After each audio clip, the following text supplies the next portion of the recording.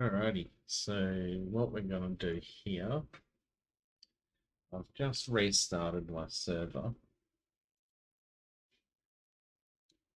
because I need, uh, we need .NET 4.8 installed. So I've just installed that and you know, we've added a couple of things that required a reboot before we can um, manage the exchange schema or extend our schema. So while these services are getting back up and running, they should all automatically start. If they don't, then I mean, you can start them manually, but ideally you would have them auto start just so that you can have them, you know, you can schedule a maintenance window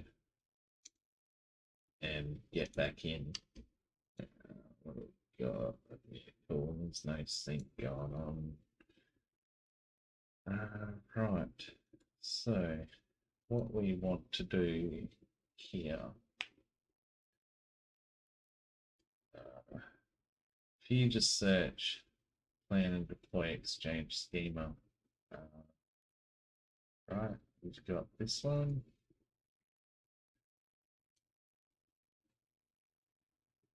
Uh, basically, click on that first link and come up to here, updates for exchange, and then click this one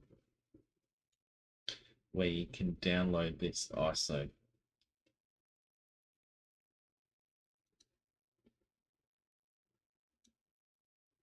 Okay.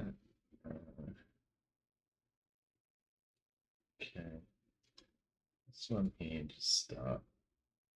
It should start on its own. But I'm being impatient. Uh, yeah. Alright, so now I've previously downloaded the ISO. That's this one here. So you just double click to mount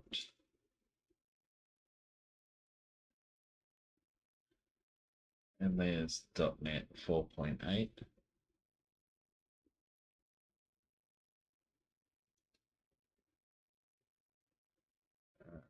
cool, so there we are, DVD drive E.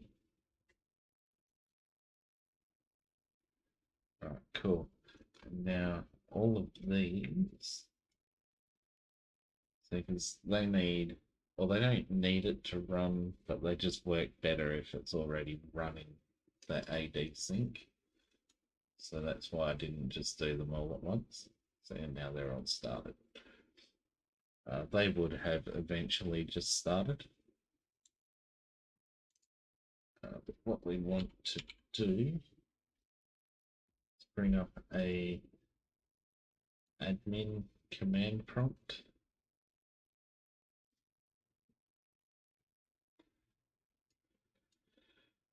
Uh, and we need to go to E, just make sure that it's mounted. Yep. Okay. Then we go setup. See, I accept exchange server license terms underscore I agnostic Um, com AD organization.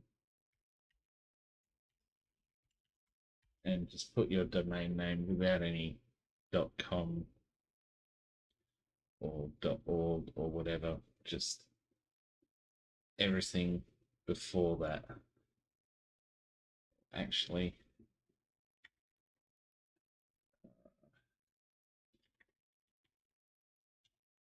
I've been using this where you could also just put that.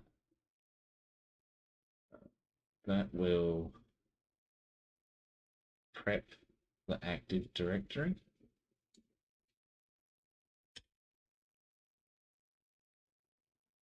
Uh, providing I've spelled things right. So we want to remove this P. Accept exchange server license terms, diagnostic data on. That is the most ridiculous argument I've seen in a command line. So if anyone from Microsoft is actually seeing this, like that is just so long and dumb. Like just change it to something short.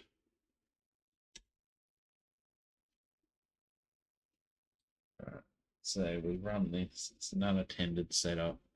So we're not, I mean, we've got the Exchange server installation ISO, but we're not actually installing Exchange. We're just installing the AD schema part of Exchange. Uh, right. Oh, that's organization name, sorry.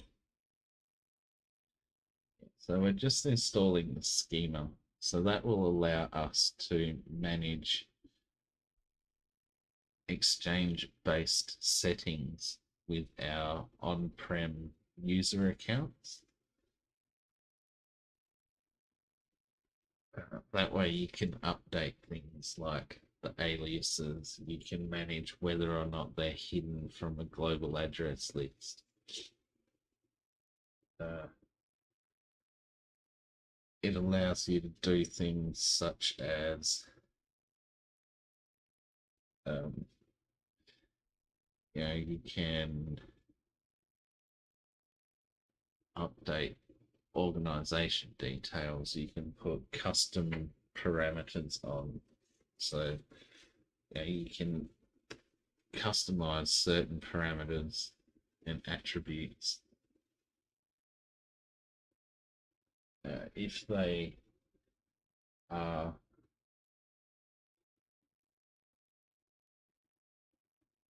you'll get say they're from a different department. Uh, we'll go through that in a later episode.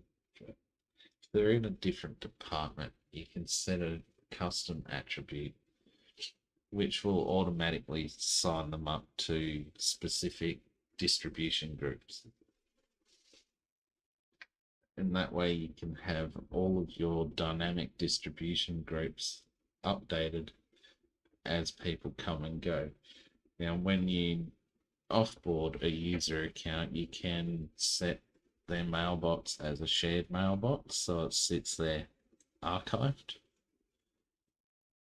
And um, then you can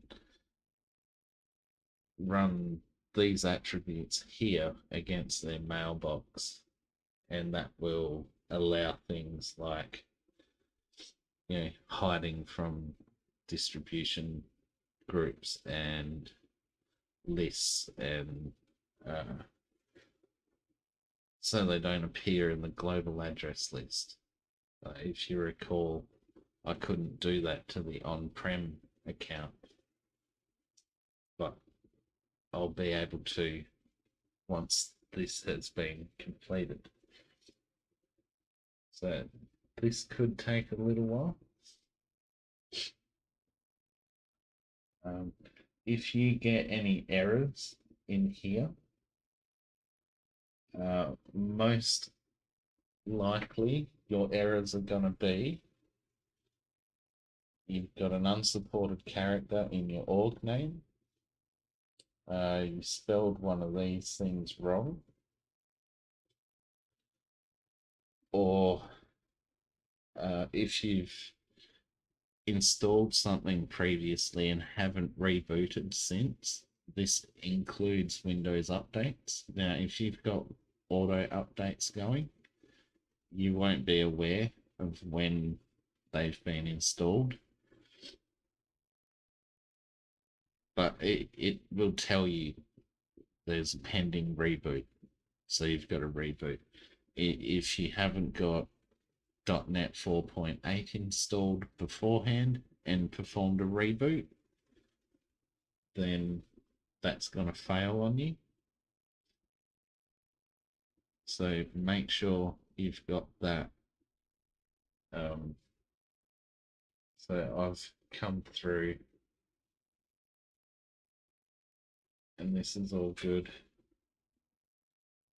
Uh, also, I'm pretty sure I mentioned it, but I'll just mention it again.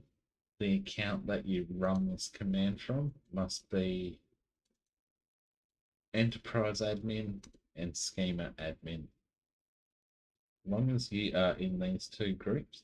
So now this is a new group that's popped up. It's added me in. So it's an exchange security group. And that means we just successfully configured uh, our, like we've prepared our AD. So now what we have to do, uh, we can just press up and we want to make this one all domains. And this will prep. It'll go through our Active Directory, find any domains that are configured in our forest. Um, I only have one. More often than not, you'll only come across one inside of any AD forest unless you're working for like massive massive corporation, and I'm talking like massive, like you know, thousands of employees.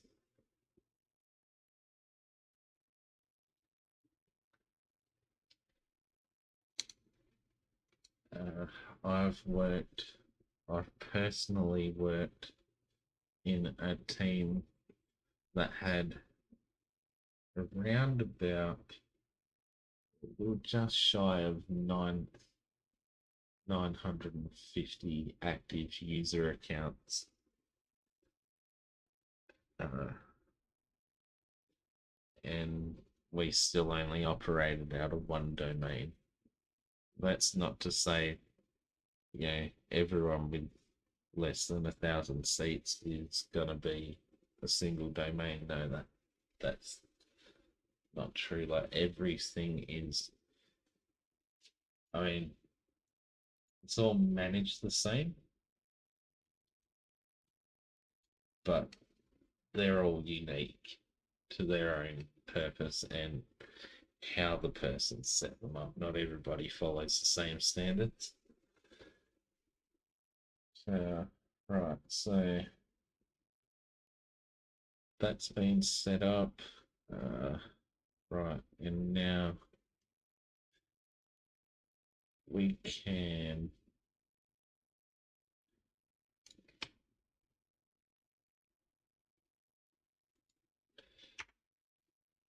uh, we can now because the domain's been prepared.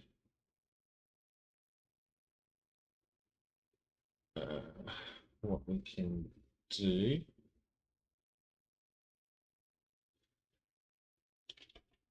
because I mean we can go prepare domain.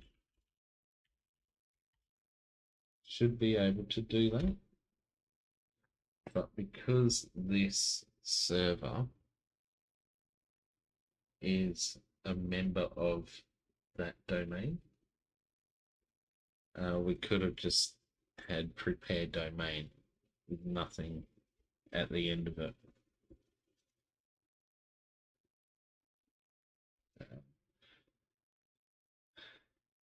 Right, so this will go through. Um, this should be the last step.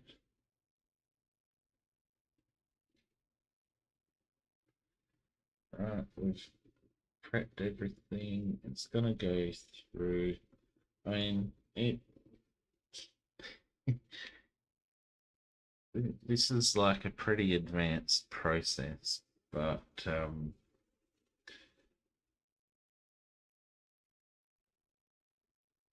it, it's not as hard as what it seems. I mean, sure, you can really screw this up and just break everything. But if you do it exactly like that, uh, you should now find in the attribute. Can't remember if you need to reboot again after. I mean, knowing Windows, Windows is just reboot after reboot. Oh, you edited a text document, reboot. Yeah, but uh, we should be able to go and yeah, see we've got the this mouse man, it's driving me nuts. We've got our mail mail nickname. Uh, so MS Exchange, we should have MS Exchange. Uh, where is it? So there's our extension attributes. Got MS Exchange, immutable ID. That's a good one. Uh, and hide from address list. So that's successfully installed.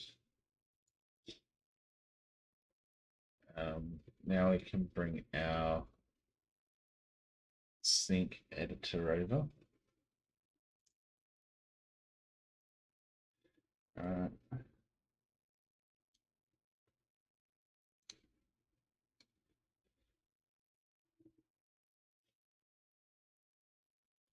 We can configure uh, customize sync options. Oh, actually, want to refresh directory schema.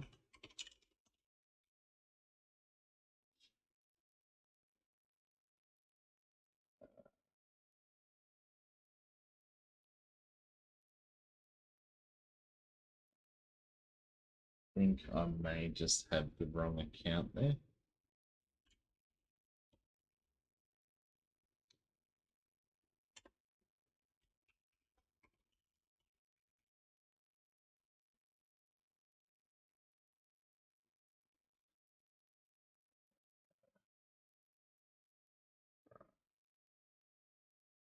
Mm. Actually, screw let's just use this account.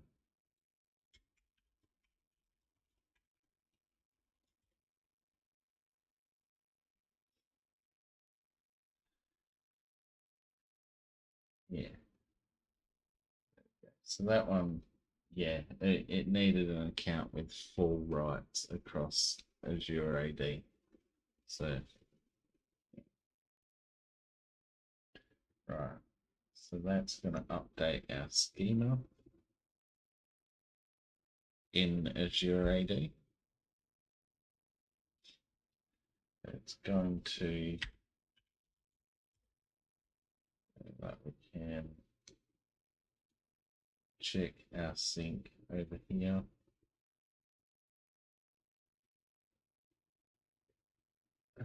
Great. It's bringing up errors again. When was that? It's got that stupid permission issue again.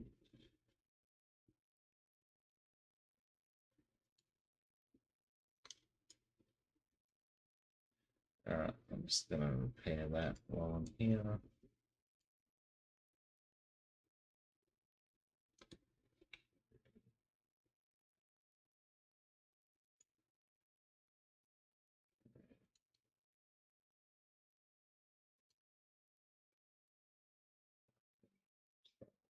Right. Good.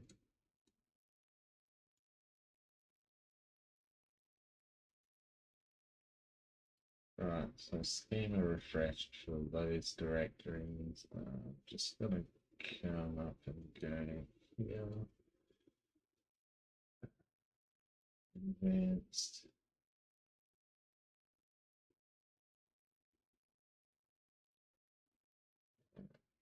Dates of the MSOL.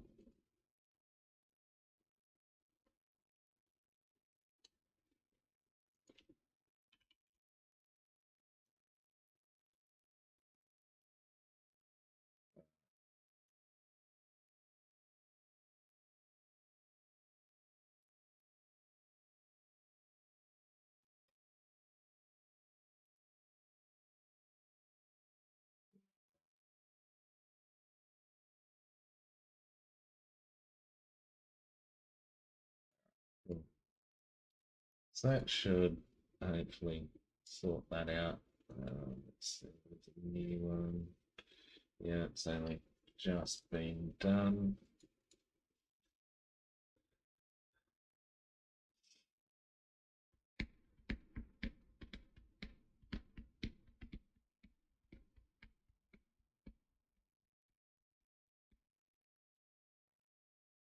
Yeah, now we customize sync options.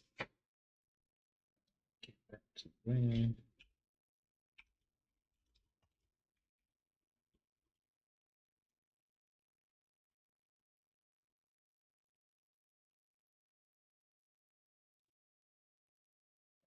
Go down optional features.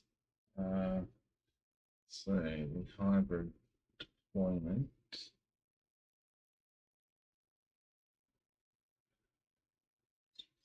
Set attribute. Uh, right. Throw that in.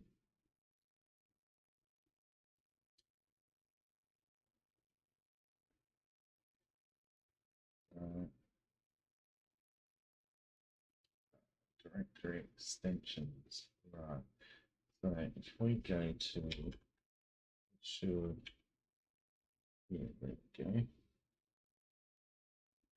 We've got our MS Exchange attributes in here now.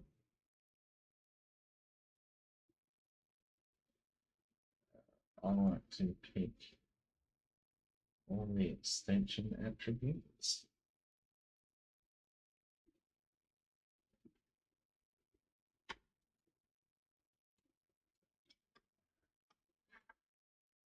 Let's forget it doesn't like.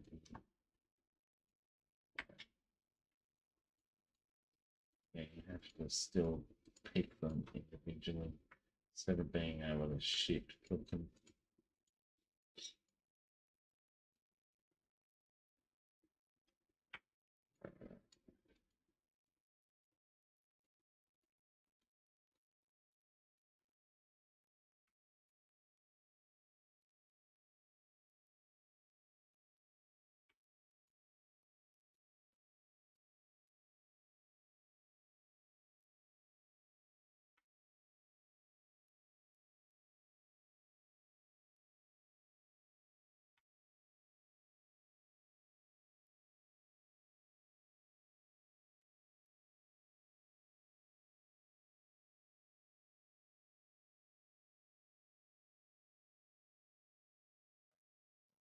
All of those and the hide from address lists. Right. Move that over. Right. So we've got the 100 selected. Sounds about right. Could probably take those out. Give ourselves like 10 with.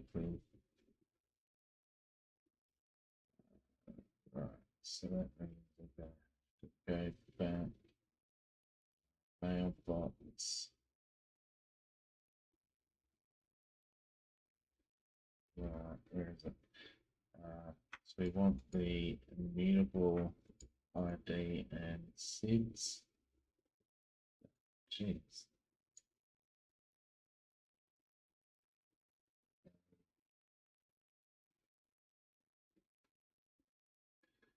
Okay, uh, let's just take that.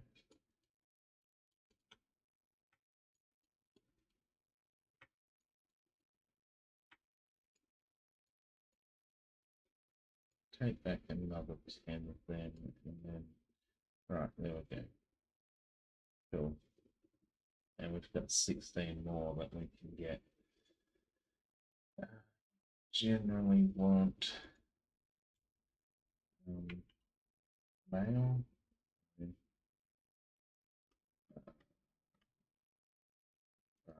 mail and mail nickname you want in as well.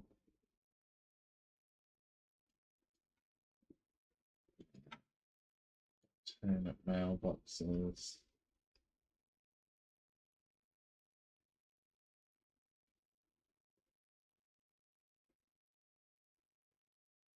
Right, that should just about do it.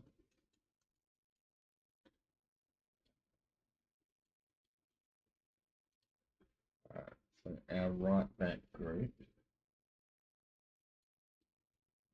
It's not letting me configure anything.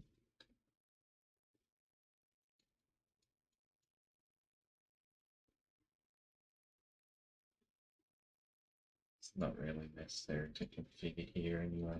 Uh, we've got it pre-configured. It is under there.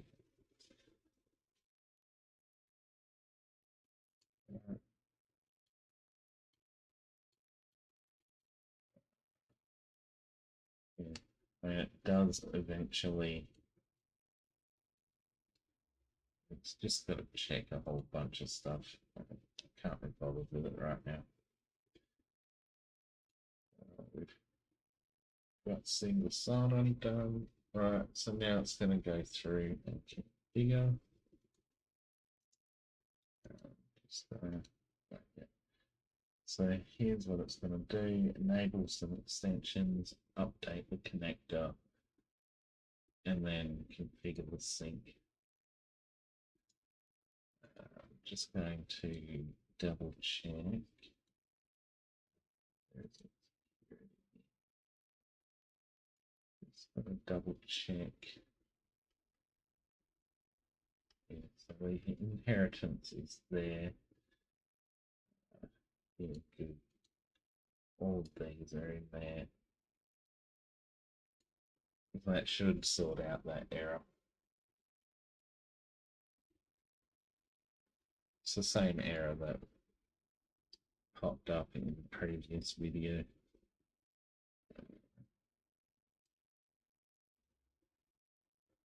Yeah, see it's trying to add this to here.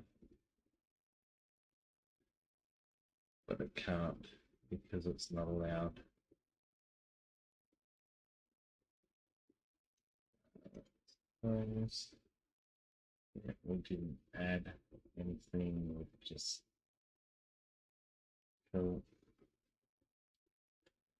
config complete.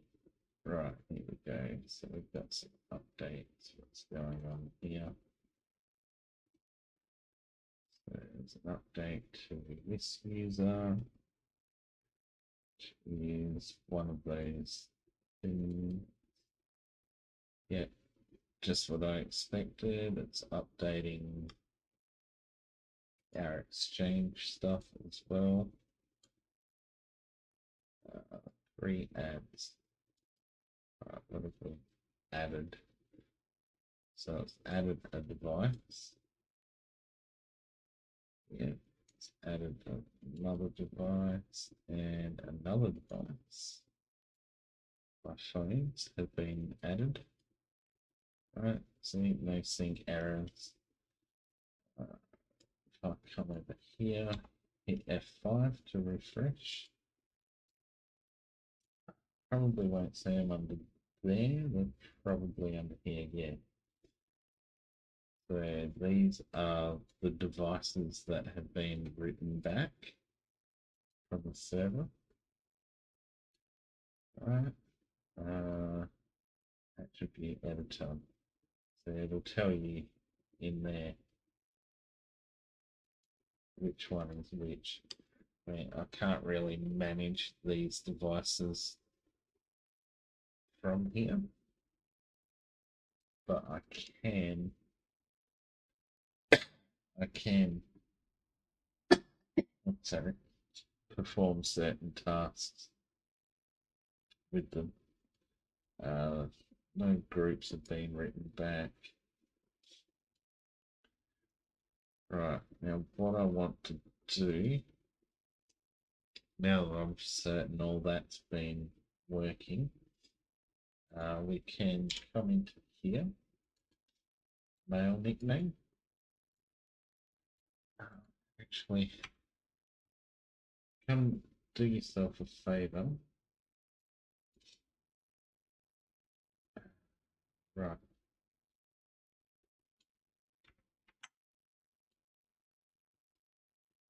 That's actually okay. Yeah, it's going to cause problems. Um,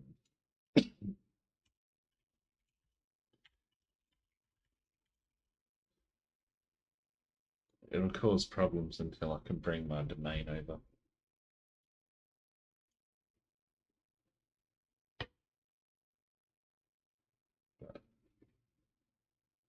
So just use the mail address there. Copy that. So you want it in both mail and mail nickname. Uh, and then come down to the MS Exchange attributes. Come down to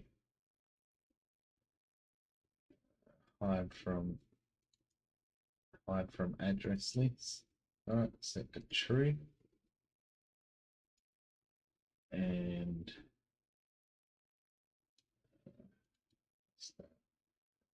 let's string? Yeah. Uh, that that's only necessary for when things get broken you can update that immutable id to what it's supposed to be and that will fix it right uh, that should actually be enough. That should be enough to hide it. Um, start the AD sync cycle. Just the delta sync is all we need.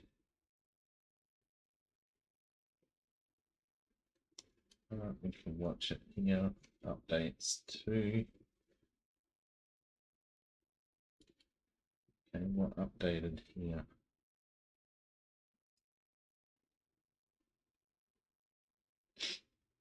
Right, it looks like it's put my um my domain. Yeah, cool. Right, so they actually just updated. Now, if we go to right, we go back to here.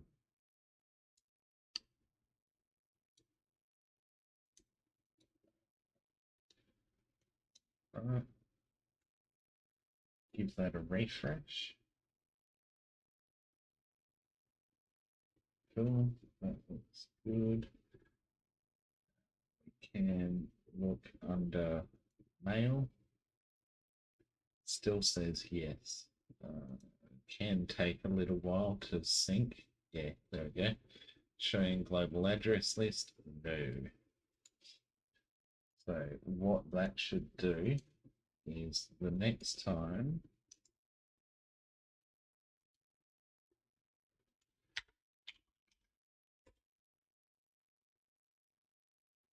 the next time we go Teams cache is a real pain in the butt because it is just super persistent. But when you go into Outlook, right, and open this up, that's our offline global address list. Right, so we can update our offline global address list.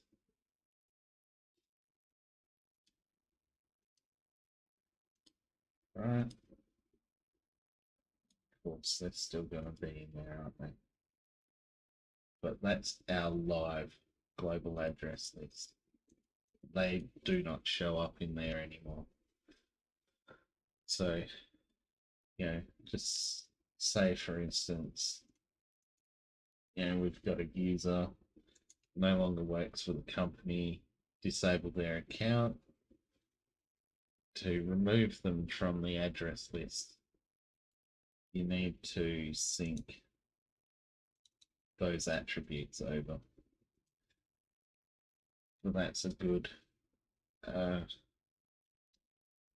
sort of quick lesson on setting all that up. You follow those steps and you can't go wrong. Alright, until next time, have a good one.